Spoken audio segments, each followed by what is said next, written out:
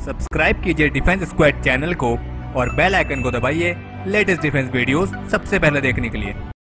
Hello defence lovers स्वागत है आप सभी का डिफेंस ज्ञान सीरीज़ के फ्रेश एपिसोड में। आज हम एक बेहद ही इंटरेस्टिंग टॉपिक पर बात करने वाले हैं, जो इंटरेस्टिंग तो होगा ही होगा, लेकिन साथ ही साथ काफ़ी ज़्यादा इन्फॉर्मेटिव भी होगा। आप में से कई लोग इस बात को जानते होंगे कि अगर अमेरिका को किसी दूसरी कंट्री पर अपने न्यूक्लियर वेपन लॉन्च करने हैं तो उन वेपन्स को लॉन्च करने का जो फैसला होता है, वो अमेरिका के राष्ट्रपति द्वारा लिया जाता है। और उन न्यूक्लियर वेपन्स को लॉन्च करने के लिए अमेरिका के राष्ट्रपति के पास एक खास तरह का ब्रीफ केस होता है, जिसे न्यूक्लियर फुटबॉल कहते हैं। और उस न्यूक्लियर फुटबॉल नाम के ब्रीफ केस के अंदर अमेरिका के न्यूक्लियर वेपन्स के लॉन्च कोड्स होते हैं, और उन लॉन्च कोड्स को टेक्निकल टर्म में गोल्ड कोड्स कहा जाता है। और इसी तरह का एक ब्रीफ केस अमेरिका के उपराष्ट्रपति को भी दिया जाता है। यानी कि अगर ऐसी कोई स्थिति बनती है जिसमें अमेरिका के राष्ट्रपति न्यूक्लियर वेपन को लॉन्च नहीं कर पा रहे हैं तो फिर ऐसी स्थिति में वेपन्स को लॉन्च करने की ज़िम्मेदारी उपराष्ट्रपति लेते हैं। और एक खास ब्रीफ केस अमेरिका के राष्ट्रपति के साथ हमेशा रहता है। फिर चाहे वो दुनिया के किसी भी कोने पर विज़िट कर रहे हों, और इसी ब्रीफ केस के चलते ही वे दुनिया के किसी भी कोने से अपने न्यूक्लियर वेपन्स को लॉन्च कर सकते हैं। और ये जिस खास ब्रीफ केस की हमने बात करी है, इसे आप सभी न्यूक्लियर बटन के नाम से भी जानते होंगे, जिसका ज़िक्र आपने मूवीज़ में भी कई बार सुना होगा। लेकिन क्या आप जानते हैं कि भारत में न्यूक्लियर वेपन्स को लॉन्च करने का फैसला कौन लेता है? और क्या भारत के पास भी न्यूक्लियर वेपन्स को लॉन्च करने के लिए इस तरह का कोई खास ब्रीफ केस है या नहीं? तो आज हम इन्हीं सब दिलचस्प सवालों के आपको जवाब देंगे। So without wasting time let's begin शुरू कर।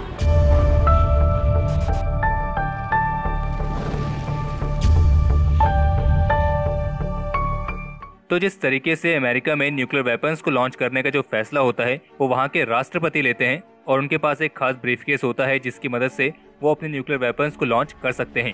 लेकिन भारत में न्यूक्लियर वेपन्स को लॉन्च करने का जो प्रोसीजर है, वो काफ़ी अलग है, क्योंकि हमारे देश में न्यूक्लियर वेपन्स प्रोग्राम को कमांड करने, उसे कंट्रोल करने और उसे ऑपरेशनल करने का जो फैसला होता है, वो होता है भारत की न्यूक्लियर कमांड अथॉरिटी यानी कि एनसीए का। और इस न्यूक्लियर कमांड अथॉरिटी के भी दो मुख्य भाग हैं। एक कहलाता है पॉलिटिकल काउंसिल, दूसरा कहलाता है एग्जीक्यूटिव काउंसिल, जिसे कैबिनेट कमेटी ऑन सिक्योरिटी ने 4 जनवरी 2003 में बनाया था। इसके अंदर जो एग्जीक्यूटिव काउंसिल है, उसे हेड करते हैं भारत के नेशनल सिक्योरिटी एडवाइजर, जो कि वर्तमान समय में अजीत डोवाल हैं। और इस एग्जीक्यूटिव काउंसिल का काम होता है न्यूक्लियर अटैक के मामले में पॉलिटिकल काउंसिल को अपना ओपिनियन बताना। यानी कि वो पॉलिटिकल काउंसिल को अपना ओपिनियन देगी कि हमें न्यूक्लियर अटैक करना चाहिए या नहीं। और फिर उस न्यूक्लियर अटैक को अंतिम मंजूरी देने की ज़िम्मेदारी होती है पॉलिटिकल काउंसिल की, जिसे हेड करते हैं भारत के प्रधानमंत्री, जो कि वर्तमान समय में नरेंद्र मोदी हैं। यानी कि मान लीजिए, अगर भारत को किसी पर न्यूक्लियर अटैक करने की ज़रूरत पड़ती है तो पहले एग्जीक्यूटिव काउंसिल पूरी स्थिति का जायजा लेगी, फिर उसके बाद पॉलिटिकल काउंसिल को अपना ओपिनियन देगी कि हमें अटैक करना है या नहीं। और उसी ओपिनियन के आधार पर तय होगा कि हमला करना है या नहीं। और जब तक कि पॉलिटिकल काउंसिल उस हमले के लिए हाँ नहीं कहेगी, तब तक वो न्यूक्लियर अटैक नहीं हो सकता है। और ऑफिशियल्स का कहना है कि इस न्यूक्लियर कमांड अथॉरिटी के अंदर दो अलग अलग काउंसिल्स इसलिए बनाई गई हैं ताकि इस बात को सुनिश्चित किया जा सके कि जो भारत का न्यूक प्रोग्राम है, यानी कि जो भारत के परमाणु हथियार हैं, वो सिविलियन कंट्रोल में ज़्यादा रहे और इन हथियारों का कोई अनथोराइज तरीके से इस्तेमाल ना कर सके या फिर एक्सीडेंटली ये लॉन्च ना हो सके। और भारत में न्यूक्लियर वेपन्स को लॉन्च करने के लिए एक sophisticated command and control mechanism भी बनाया गया है। और इस बारे में कोई भी जानकारी उपलब्ध नहीं है कि अगर मान लीजिए भारत को परमाणु हमले के जवाब में रिटेलिएट करने की ज़रूरत पड़ती है तो भारत अपने परमाणु हथियार का इस्तेमाल करने के लिए किस डिलीवरी सिस्टम का इस्तेमाल करेगा? और इस जानकारी को सुरक्षा के लिहाज से हाईली क्लासिफाइड रखा गया है। और जहाँ तक बात है किसी तरह के खास ब्रीफ केस होने की तो फ़िलहाल जो जानकारी उपलब्ध है, उसके अनुसार तो यही लगता है कि भारत के पास न्यूक्लियर वेपन्स को लॉन्च करने के लिए अमेरिका की तरह कोई खास ब्रीफ केस वाला सिस्टम नहीं है। और हाँ जो भारत के प्रधानमंत्री की सुरक्षा में कमांडोज होते हैं, उनमें से एक कमांडो के हाथ में जो आपको एक ब्रीफ जैसा दिखाई देता है, वो असल में ब्रीफ केस नहीं होता है, वो एक तरह की शील्ड होती है।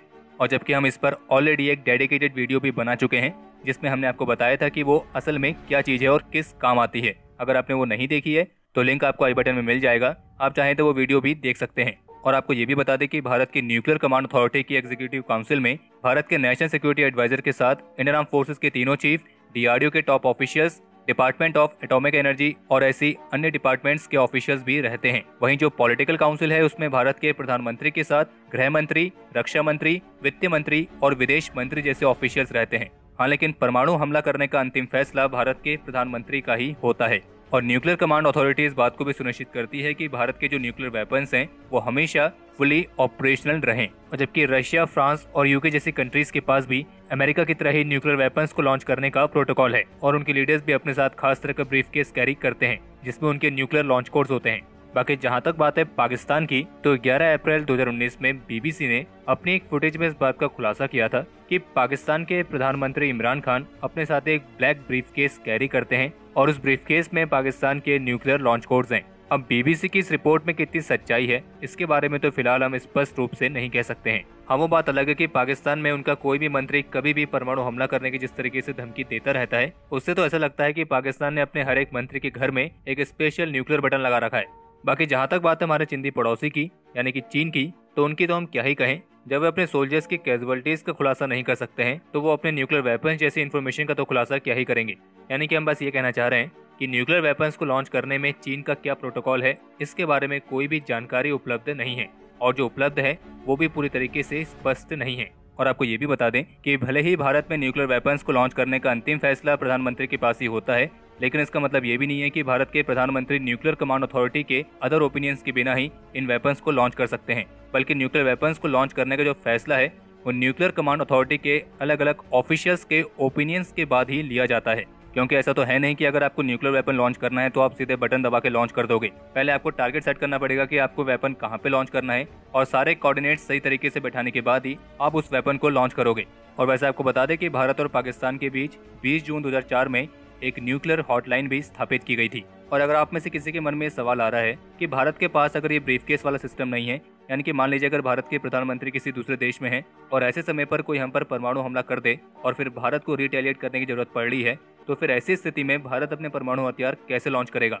तो हमारे ओपिनियन में ऐसी स्थिति में ये ब्रीफ केस वाला सिस्टम ना होने की थोड़ी बहुत कमी तो महसूस ज़रूर होगी, लेकिन हाँ इतनी कमी महसूस भी नहीं होगी कि हम अपना रिटेलिएट भी ना कर पाएँ। क्योंकि हमारा मानना यह है कि अगर रिटेलिएट करने की ज़रूरत पड़ती है तो भारत की जो न्यूक्लियर कमांड अथॉरिटी है, उसके ऑफिशियल्स एक प्रॉपर डिसीज़न लेके पॉलिटिकल काउंसिल के हेड यानी कि भारत के प्रधानमंत्री तक देंगे। और फिर भारत के प्रधानमंत्री चाहें तो वे न्यूक्लियर वेपन्स को लॉन्च करने के ऑर्डर्स दे सकते हैं। हालाँकि हम आपको एक बार फिर से क्लियर कर दें कि भारत का न्यूक्लियर वेपन्स को डिलीवर करने का क्या सिस्टम है इसके बारे में इन्फॉर्मेशन कहीं पर भी उपलब्ध नहीं है। यानी कि ऐसा हो सकता है कि भारत के पास अमेरिका की तरह ही न्यूक्लियर ब्रीफकेस वाला कोई ऑल्टरनेट सिस्टम मौजूद हो। बाकी इस पर आपके क्या विचार हैं कमेंट सेक्शन में लिख के ज़रूर बताएँ।